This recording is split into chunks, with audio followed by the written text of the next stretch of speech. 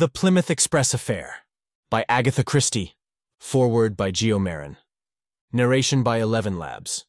As you embark upon the journey of the Plymouth Express Affair, you find yourself at the heart of an era where the written word was the gateway to unimaginable worlds.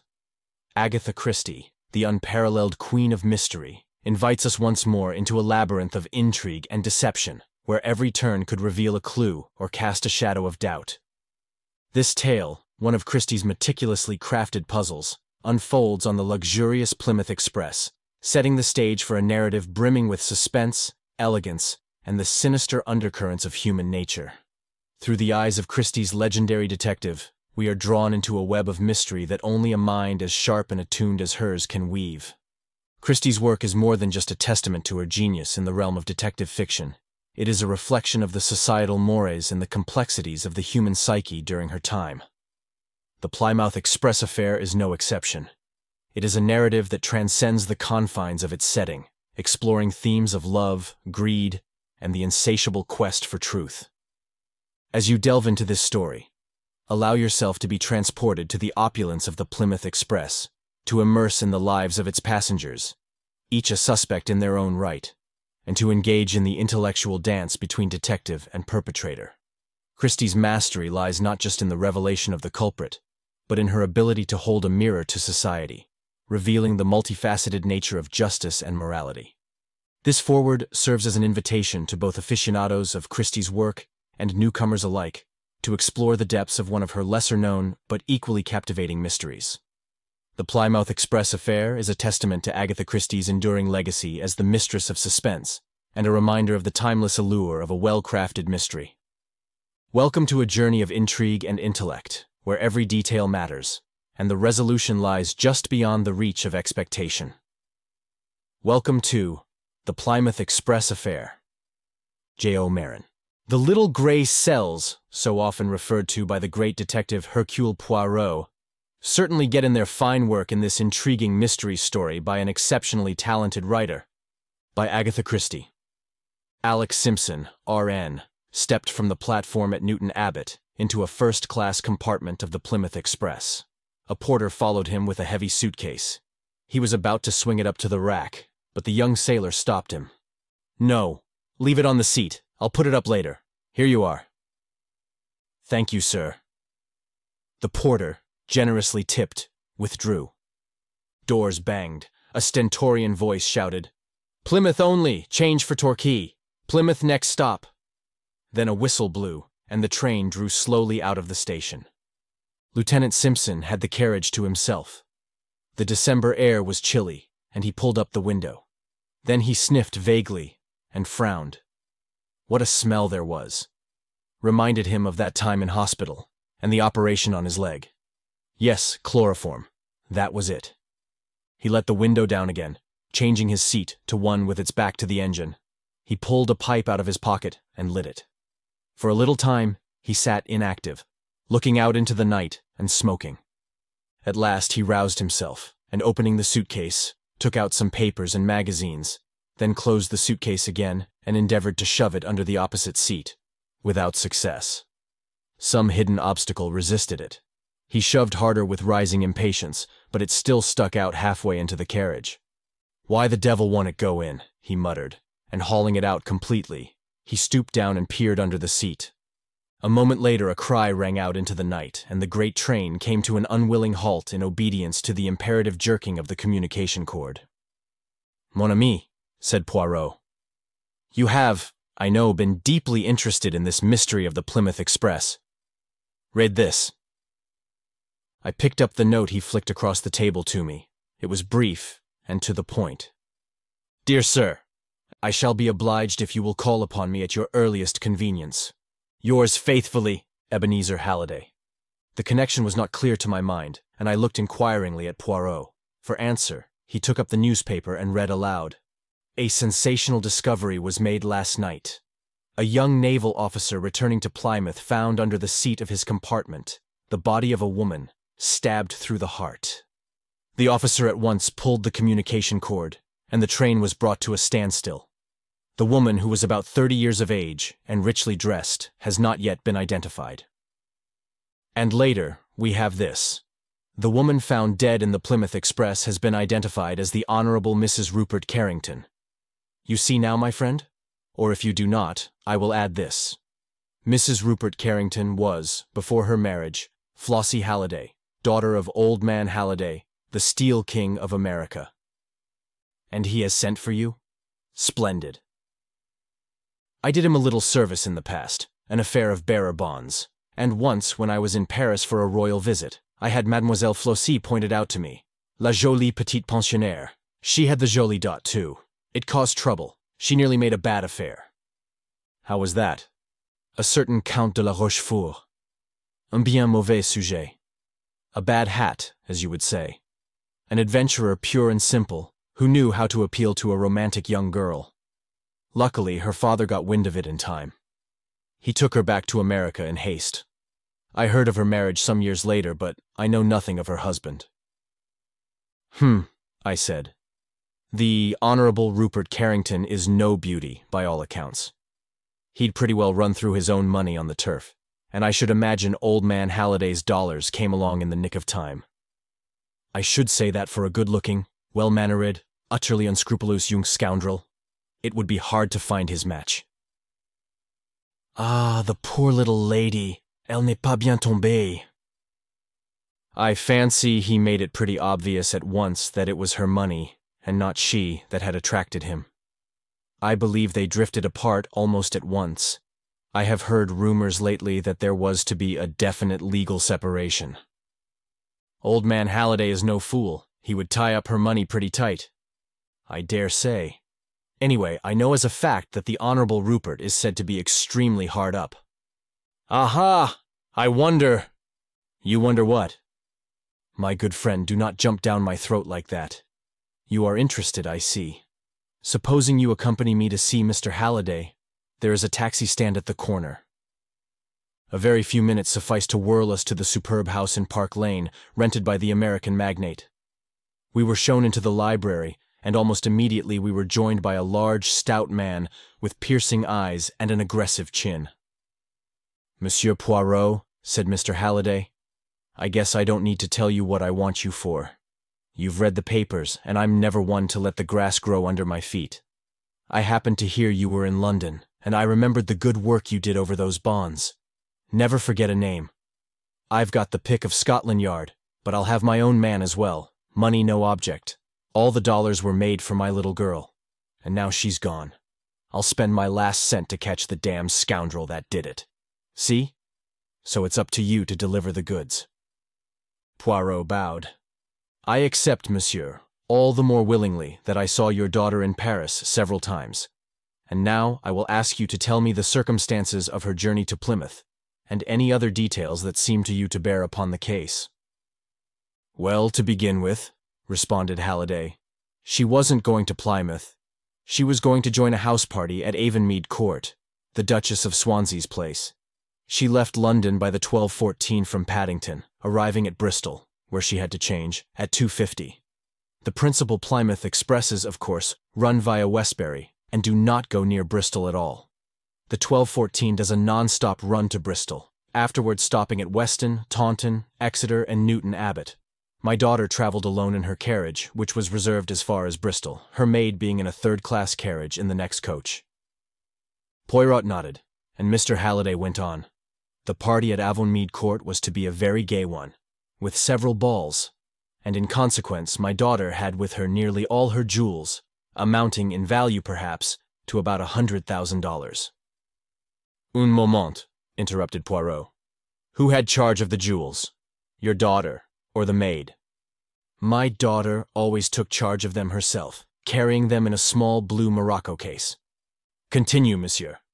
At Bristol, the maid, Jane Mason, collected her mistress's dressing bag and wraps, which were with her, and came to the door of Flossie's compartment. To her intense surprise, my daughter told her that she was not getting out at Bristol, but was going on farther. She directed Mason to get out the luggage and put it in the cloakroom. She could have tea in the refreshment room, but she was to wait at the station for her mistress, who would return to Bristol by an up train in the course of the afternoon. The maid, although very much astonished, did as she was told. She put the luggage in the cloakroom and had some tea. But up train after up train came in, and her mistress did not appear.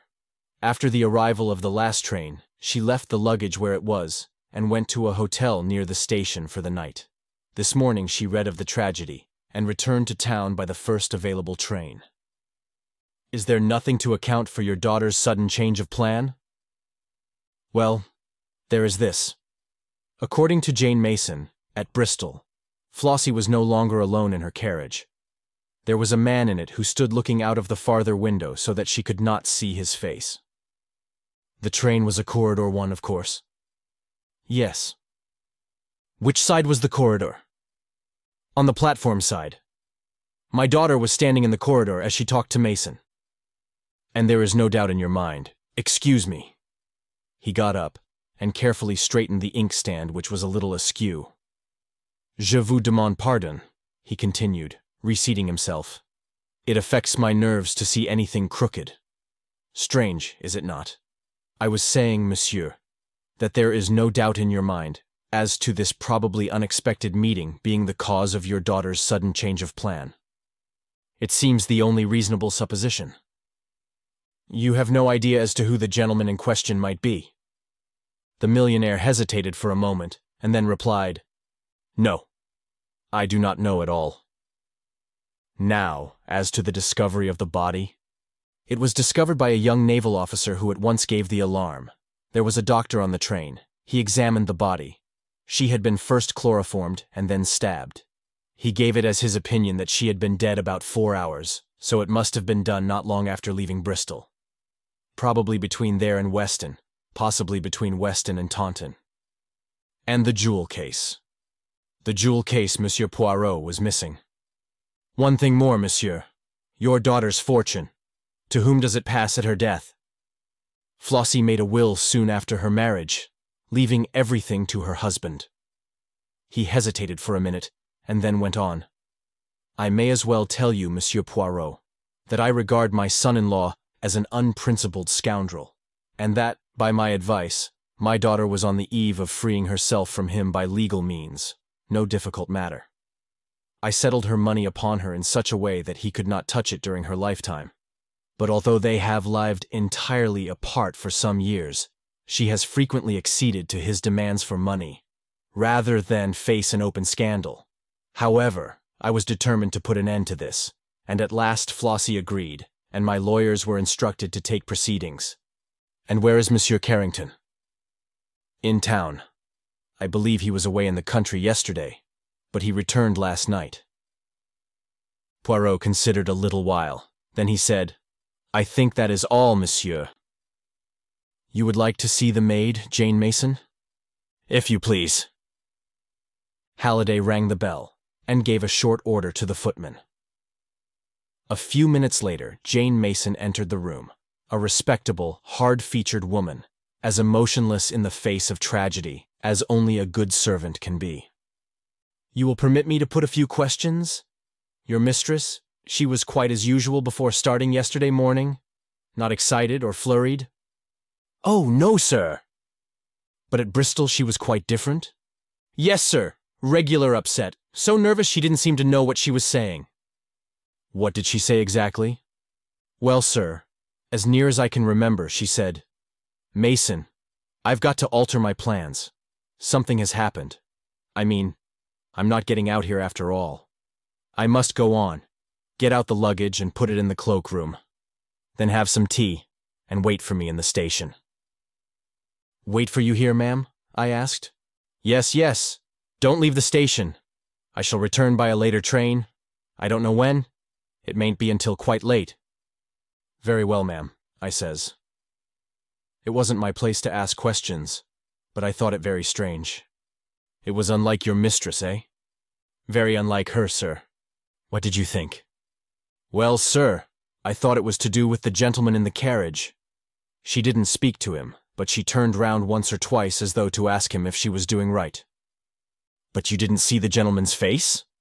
No, sir. He stood with his back to me all the time. Can you describe him at all? He had on a light fawn overcoat and a traveling cap.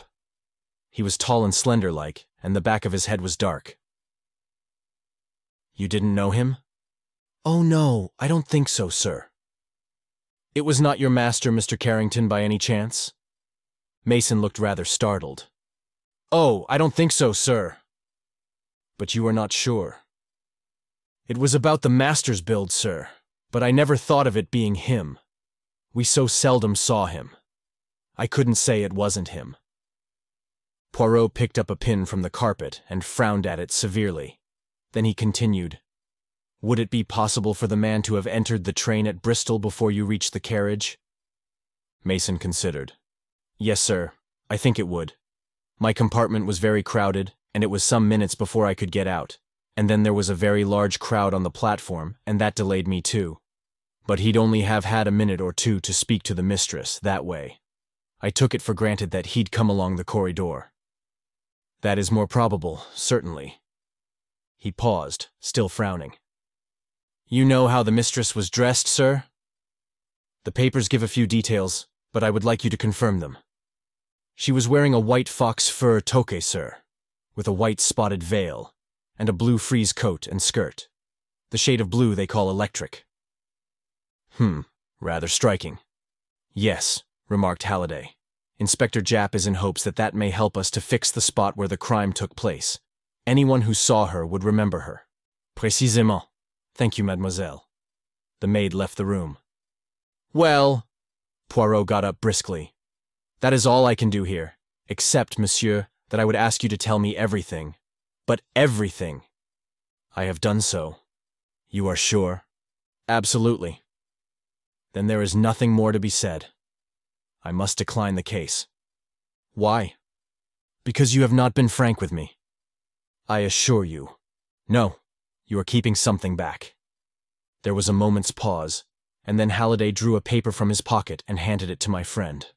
I guess that's what you're after, Monsieur Poirot, though how you know about it fairly gets my goat. Poirot smiled and unfolded the paper. It was a letter written in thin, sloping handwriting. Poirot read it aloud. Chère Madame, it is with infinite pleasure that I look forward to the felicity of meeting you again. After your so amiable reply to my letter, I can hardly restrain my impatience. I have never forgotten those days in Paris. It is most cruel that you should be leaving London tomorrow. However, before very long, and perhaps sooner than you think, I shall have the joy of beholding once more the lady whose image has ever reigned supreme in my heart. Believe, chère madame, all the assurances of my most devoted and unaltered sentiments, Armand de la Rochefort. Poirot handed the letter back to Halliday with a bow. I fancy, monsieur, that you did not know that your daughter intended renewing her acquaintance with the Count de la Rochefort. It came as a thunderbolt to me. I found this letter in my daughter's handbag. As you probably know, Monsieur Poirot, this so-called Count is an adventurer of the worst type. Poirot nodded. But what I want to know is how you knew of the existence of this letter. My friend smiled. Monsieur, I did not. But to track footmarks and recognize cigarette ash is not sufficient for a detective. He must also be a good psychologist. I knew that you disliked and mistrusted your son-in-law. He benefits by your daughter's death. The maid's description of the mysterious man bears a sufficient resemblance to him. Yet you are not keen on his track. Why? Surely because your suspicions lie in another direction. Therefore you were keeping something back. You're right, Monsieur Poirot. I was sure of Rupert's guilt until I found this letter. It unsettled me horribly. Yes. The Count says, before very long, and perhaps sooner than you think. Obviously, he would not want to wait until you should get wind of his reappearance. Was it he who traveled down from London by the 1214 and came along the corridor to your daughter's compartment? The Count de la Rochefort is also, if I remember rightly, tall and dark. The millionaire nodded. Well, monsieur, I will wish you good day. Scotland Yard has, I presume, a list of the jewels? Yes, I believe Inspector Japp is here now if you would like to see him. Japp was an old friend of ours, and greeted Poirot with a sort of affectionate contempt. And how are you, monsieur? No bad feeling between us, though we have got our different ways of looking at things. How are the little gray cells, am? Going strong? Poirot beamed upon him. They function, my good Japp. Assuredly they do. Then that's all right. Think it was the Honorable Rupert or a crook? We're keeping an eye on all the regular places, of course. We shall know if the shiners are disposed of, and of course whoever did it isn't going to keep them to admire their sparkle. Not likely. I'm trying to find out where Rupert Carrington was yesterday. Seems a bit of a mystery about it. I've got a man watching him. A great precaution, but perhaps a day late, suggested Poirot gently. You always will have your joke, Monsieur Poirot. Well, I'm off to Paddington. Bristol, Weston, Taunton, that's my beat. So long. You will come round and see me this evening and tell me the result? Sure thing, if I'm back. That good inspector believes in matter in motion, murmured Poirot as our friend departed. He travels. He measures footprints. He collects mud and cigarette ash. He is extremely busy. He is zealous beyond words. And if I mentioned psychology to him, do you know what he would do, my friend? He would smile. He would say to himself, Poor old Poirot, he ages, he grows senile. Japp is the younger generation knocking on the door.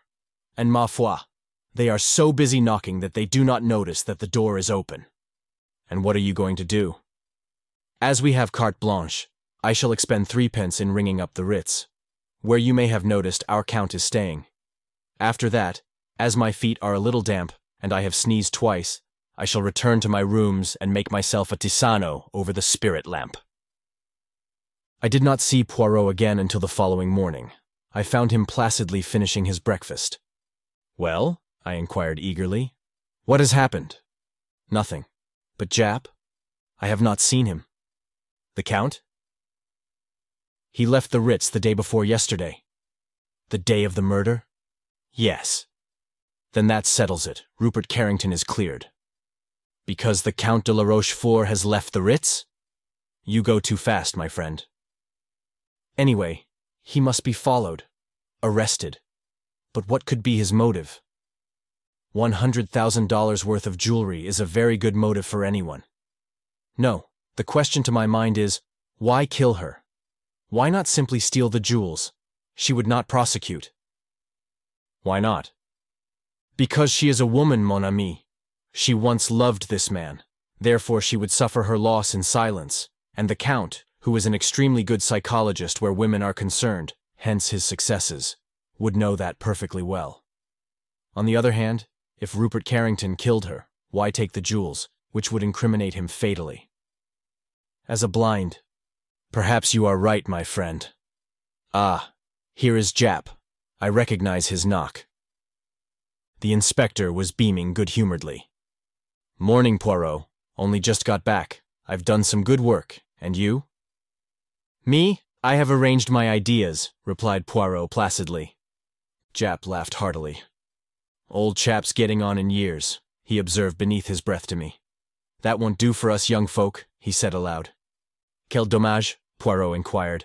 Well, do you want to hear what I've done? You permit me to make a guess? You have found the knife with which the crime was committed by the side of the line between Weston and Taunton, and you have interviewed the paper boy who spoke to Mrs. Carrington at Weston. Japp's jaw fell. How on earth did you know? Don't tell me it was those almighty little gray cells of yours. I am glad you admit for once that they are almighty. Tell me, did she give the paper boy a shilling for himself? No, it was half a crown. Japp recovered his temper and grinned. Pretty extravagant, these rich Americans. And in consequence, the boy did not forget her? Not he. Half crowns don't come his way every day. She hailed him and bought two magazines. One had a picture of a girl in blue on the cover. That'll match me, she said. Oh, he remembered her perfectly. Well, that was enough for me. By the doctor's evidence, the crime must have been committed before Taunton. I guessed they'd throw the knife away at once, and I walked down the line looking for it, and sure enough, there it was. I made inquiries at Taunton about our man, but of course it's a big station, and it wasn't likely they'd notice him. He probably got back to London by a later train. Poirot nodded. Very likely. But I found another bit of news when I got back. They're passing the jewels, all right. That large emerald was pawned last night, by one of the regular lot. Who do you think it was? I don't know except that he was a short man. Japp stared. Well, you're right there. He's short enough. It was Red Narky. Who on earth is Red Narky? I asked. A particularly sharp jewel thief, sir, and not one to stick at murder. Usually works with a woman, Gracie Kidd. But she doesn't seem to be in it this time, unless she's got off to Holland with the rest of the swag. You've arrested Narky? Sure thing. But mind you, it's the other man we want. The man who went down with Mrs. Carrington in the train. He was the one who planned the job, right enough. But Narky won't squeal on a pal. I noticed that Poirot's eyes had become very green.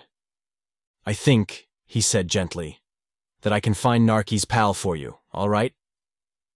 One of your little ideas, eh? Japp eyed Poirot sharply. Wonderful how you manage to deliver the goods sometimes, at your age and all. Devil's own luck, of course.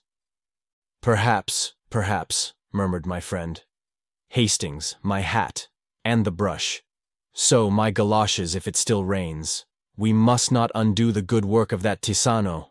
Au revoir, Japp. Good luck to you, Poirot. Poirot hailed the first taxi we met and directed the driver to Park Lane. When we drew up before Halliday's house, he skipped out nimbly, paid the driver, and rang the bell. To the footman who opened the door, he made a request in a low voice, and we were immediately taken upstairs. We went up to the top of the house and were shown into a small, neat bedroom. Poirot's eyes roved round the room and fastened themselves on a small black trunk. He knelt in front of it, scrutinized the labels on it, and took a small twist of wire from his pocket. Ask Mr. Halliday if he will be so kind as to mount to me here, he said over his shoulder to the footman.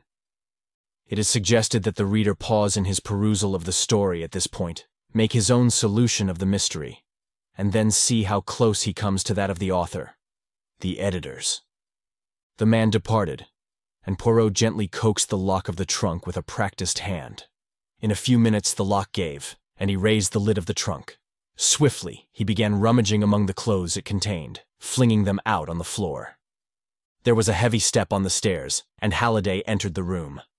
What in hell are you doing here? he demanded, staring. I was looking, monsieur, for this. Poirot withdrew from the trunk a coat and skirt of bright blue frieze and a small toque of white fox fur. What are you doing with my trunk? I turned to see that the maid, Jane Mason, had just entered the room. If you will just shut the door, Hastings. Thank you. Yes, and stand with your back against it. Now, Mr. Halliday, let me introduce you to Grace Kidd, otherwise Jane Mason, who will shortly rejoin her accomplice, Red Narky, under the kind escort of Japp. It was of the most simple. Poirot waved a deprecating hand, then helped himself to more caviar. It is not every day that one lunches with a millionaire. It was the maid's insistence on the clothes that her mistress was wearing that first struck me. Why was she so anxious that our attention should be directed to them? I reflected that we had only the maid's word for the mysterious man in the carriage at Bristol. As far as the doctor's evidence went, Mrs. Carrington might easily have been murdered before reaching Bristol. But if so, then the maid must be an accomplice and if she were an accomplice, she would not wish this point to rest on her evidence alone. The clothes Mrs. Carrington was wearing were of a striking nature. A maid usually has a good deal of choice as to what her mistress shall wear. Now if, after Bristol, anyone saw a lady in a bright blue coat and skirt, and a fur toque, he will be quite ready to swear he has seen Mrs. Carrington. I began to reconstruct. The maid would provide herself with duplicate clothes, she and her accomplice chloroform and stab Mrs. Carrington between London and Bristol, probably taking advantage of a tunnel. Her body is rolled under the seat. The maid takes her place. At Weston, she must make herself noticed. How? In all probability, a newspaper boy will be selected. She will ensure his remembering her by giving him a large tip. She also drew his attention to the color of her dress by a remark about one of the magazines. After leaving Weston, she throws the knife out of the window to mark the place where the crime presumably occurred, and changes her clothes, or buttons a long mackintosh over them. At Taunton, she leaves the train and returns to Bristol as soon as possible, where her accomplice has duly left the luggage in the cloakroom. He hands over the ticket and himself returns to London. She waits on the platform, carrying out her role, goes to a hotel for the night, and returns to town in the morning exactly as she said. When Japp returned from his expedition, he confirmed all my deductions. He also told me that a well-known crook was passing the jewels. I knew that whoever it was would be the exact opposite of the man Jane Mason described. When I heard that it was Red Narky, who always worked with Gracie Kidd, well, I knew just where to find her. And the Count? The more I thought of it, the more I was convinced that he had nothing to do with it. That gentleman is much too careful of his own skin to risk murder. It would be out of keeping with his character. Well, Monsieur Poirot, said Halliday, I owe you a big debt, and the check I write after lunch won't go near to settling it. Poirot smiled modestly and murmured to me, The good Japp, he shall get the official credit, all right. But though he has got his Gracie Kidd, I think that I, as the Americans say, have got his goat. The end. From all of us here at the Elephant Island Chronicles, we hope you have enjoyed this classic short story by Agatha Christie. Have a great day and stay curious.